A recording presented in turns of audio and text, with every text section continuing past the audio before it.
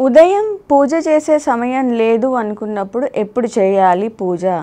అంటే పూజ అనేది మన శరీరంలో ఉండే రాత్రంతా పడుకొని చికాక్ చికాకైన ఆలోచనలతో నుండి ఉదయం లేచిన తర్వాతకి ఫ్రెష్గా ఉండి పనులన్నీ పూర్తి చేసుకోవడానికి ఉదయం పూట పూజ చేయాలి ఖచ్చితంగా అని మన వాళ్ళు పెట్టారు.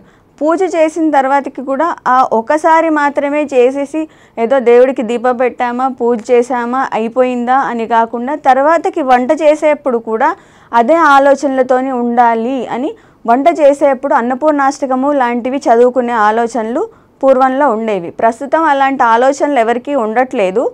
పూజ చేస్తే అయిపోయింది అని అనుకుంటూ ఆ ఆలోచనని పరిమితం చేసేస్తున్నారు. ఉదయం పూట కొంచెం సేపు సమయం దొరికి పూజ చేసి మిగతా సమయం అంతా కూడా మనం చేసే ఆలోచనలు ఏ రకమైన ఆలోచనలు ఉన్నాయి? మనల్ని ఎవరు ఏమంటున్నారు? ఆఫీస్లో ఏమంటున్నారు? చుట్టుపక్కల వాళ్ళు ఏమంటున్నారు? అనే ఆలోచనలు పక్కన పెట్టి నిరంతరం ఏదో ఒక భగవన్నామ స్మరణ అంటే శ్రీమాత్రే నమ కానీ లేదంటే ఓం నమ శివాయ కానీ ఎవరికి ఇష్టమైన దేవతని వాళ్ళు ఏ పనులు చేస్తున్నా కానీ నిరంతరం స్మరించుకుంటూ ఉండాలి. ఉదయం ఒకసారి మాకు ఈ పూట పూజ చేయడానికి అవకాశం దొరకలేదు. లేట్ అయిపోయింది పొద్దున్నే వెళ్ళిపోతున్నాము అనే ఆలోచన ఉన్నవాళ్ళు నిరంతరం భగవన్నామ స్మరణ అనేది ఎక్కువగా చేసుకుంటూ ఉండాలి.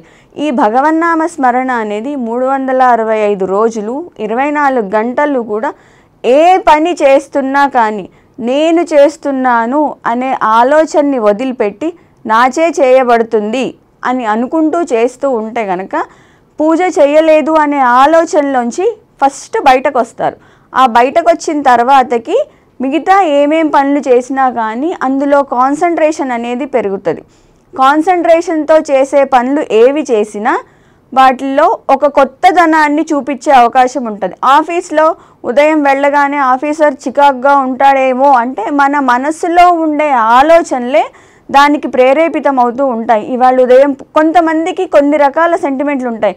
ఇవాళ ఉదయం పూజ చేసుకోకుండా వెళ్ళాను బస్ దొరుకుతుందో లేదో లేదంటే ఆఫీసర్ ఏమైనా అంటాడేమో ఇంకా ఇంకా ఇంకా వేరు వేరు రకాల ఆలోచనలు ఇంకేమైనా ఉన్నాయేమో అని.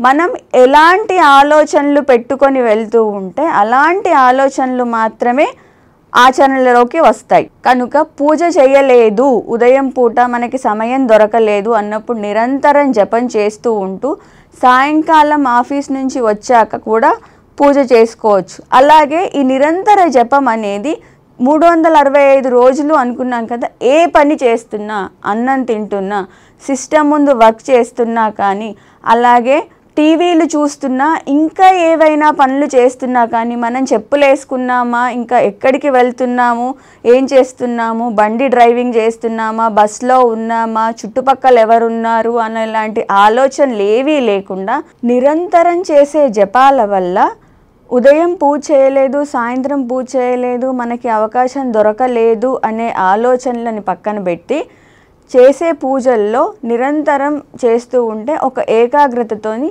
ఏ పనిలోనైనా సత్ఫలితాలను సాధించడానికి అవకాశం ఎక్కువగా ఉంటుంది.